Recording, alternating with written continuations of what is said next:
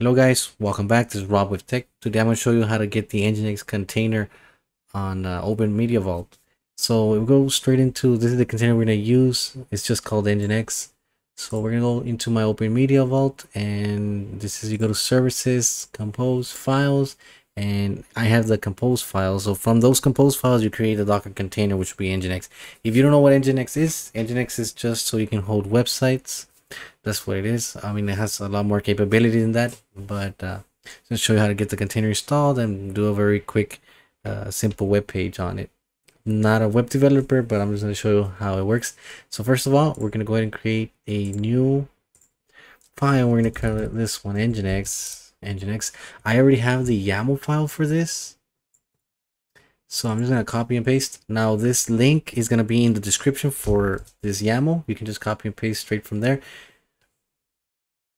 So this is very basic service nginx and then container name. This is the name that you want on your container. Then host name. This is the host name for the container. The image nginx. This is we're pulling it straight from this right here nginx docker hub. Now for ports so whatever you have on the left is what's going to be on your host machine so right now i have this ip 10.0.0.40 to access this, you're going to do colon 8080. Now, if you have the UniFi controller, this is not going to work because it uses that port. You can change this to like something else, right? 80, 81, or 8181. Uh, but basically, this port is what you're going to use to access your Nginx. Port 80 is what it's going to map on the inside. That's going to be used by the Nginx container. Um, but right is the container the left is your host now this pretty much should be it now for volumes so you need to have a place where you provide your html file the index and all the little web elements that you have now in this case it's going to be very simple um, where i chose to put it is in using this change to compose data path and then i'm asking it to create a hello world folder and then create me this HTML folder. So anything that we want that wants to be hosted on that Nginx website, we're going to go ahead and throw it into this HTML. Now that is just going to map into this path right here.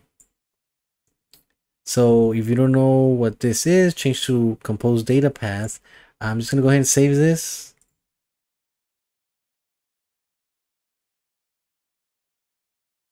Now, if you go into services, I mean, compose and settings, you can see that we have this app data here. And what this app data, once you put an app data in here, it allows you to substitute change to compose data path. Now, this is really good because you don't have to remember the whole path.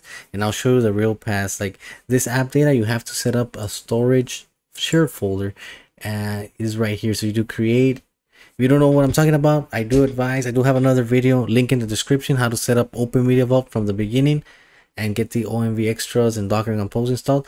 So check that out if, if you need more explanation on this. So basically this is my app data and you can see the absolute path. This is the actual path of the hard drive and you can see data, Docker, app data. So I'm just going to click this little paper so I can copy the path. Now I'm going to go back to services compose files, and I'm going to go ahead and start the container.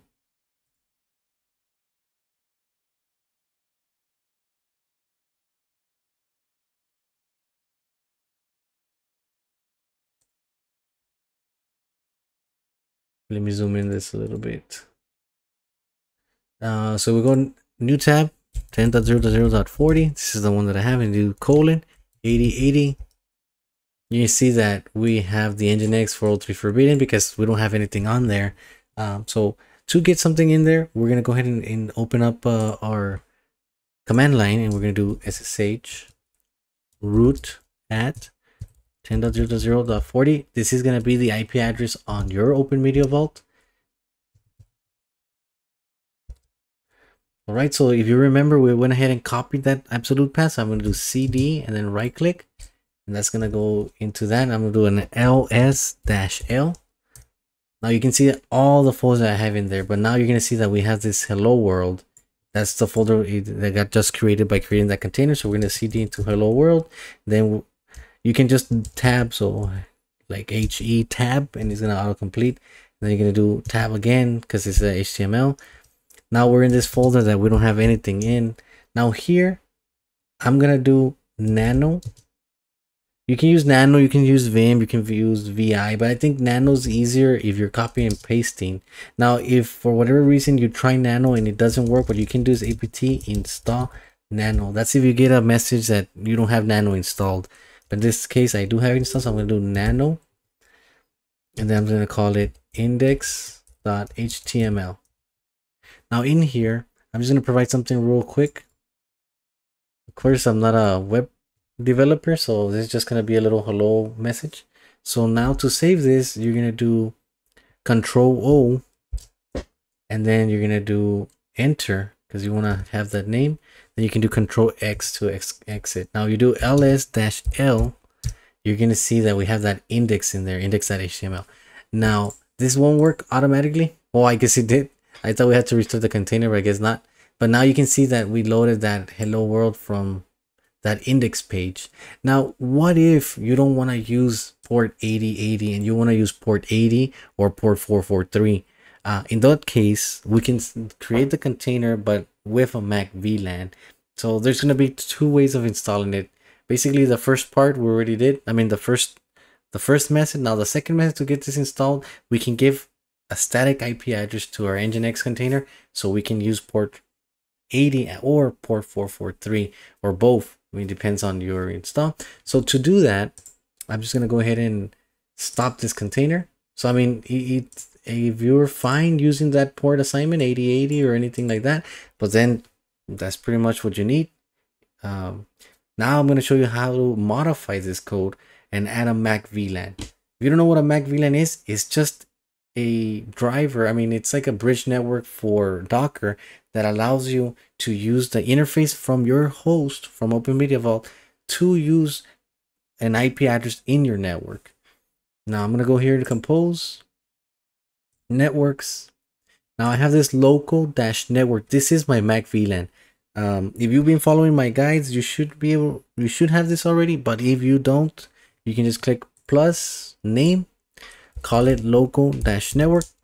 The name, the name doesn't matter, but if you're following this guide and copy pasting the YAML, it's better if you keep the same name. So local.network driver, you're going to do Mac VLAN parent interface. This is like where how you connected your Open Media Vault. So mine is ens18. Subnet. Uh, telltale sign like in mine 10.0.0.40. My subnet is 10.0.0.0 forward slash 24. Yours might be different. Yours might be like 192.168.0.0 forward slash 24 or 192.168.1.0 forward slash 24. So it just depends on your network. Um, I can't really answer you this one unless, I mean, the hint that you have is whatever you have here. Uh, basically, it's going to be a zero at the end forward slash 24. I mean, that's not the case all the time, but if it's a very standard network, you should be able to do it like that. Now for gateway, minus 10.0.0.0.1, 10.0.0.1, and then you click save. Now I'm not going to save it because this is exactly the same thing that I have right now on the other one. So I'm just going to go ahead and escape from here. So now that we have this local dash network Mac VLAN, we're going to go back to compose files and then here on Nginx, I'm going to go ahead and edit now here in host names, we can add a network section. We call it network with the S colon and then enter space, space, space. It's going to be three spaces. And then I'm just going to call this hello world N for network. The name doesn't really matter, but it just has to match when you link it on the bottom. You'll see later. Now here we're going to do is the you're to do three spaces again and then IPv4 underscore address. Now I'm just gonna give it something in my network that I know that I don't have anything on. Uh, this, this might be different on your case. But this is I know like I don't have any IPs used in, under this under the hundreds 10.0.100. I don't have anything below that. So I'm using that. Ports, you no longer need ports if you're using a Mac VLAN. So I'm just gonna comment those out. Now this is just telling it hey this i want to use i want to create this network and i want to use this ip address on now finally what you need to do is you enter here on on on the last line you're to do networks colon enter and then you're gonna three spaces and you're gonna spell spell the same thing hello world and colon this is the same name that you have up here like they have to match because that's the way you're basically doing assigning or what's it called like uh, describing this network um that's i'm not that's not the technical term but um, we're kind of linking to it now here we're gonna do three spaces again then we name now here's important. So whatever we name the Mac VLAN, this is what you're gonna specify here. So this is local dash network. If you name your your Mac VLAN network something else, this is where you would change it. If you follow this guide, then local dash network would work.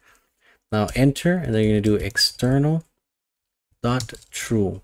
Make sure that the syntax is exactly like the way I mentioned with the three spaces, three spaces, and don't use tabs because if you do, you're gonna break the YAML file.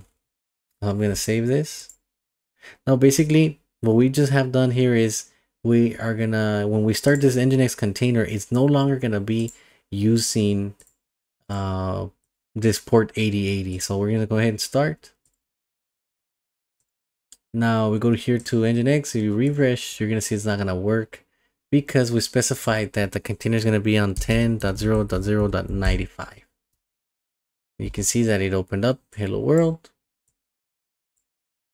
and uh, that'll be pretty much it guys i mean i'm uh, don't forget to like comment if you have any questions or any video ideas i'm open to suggestions i'm open to any ideas any uh, for me to try any other operating system like TrueNAS, Casa OS or Proxmox.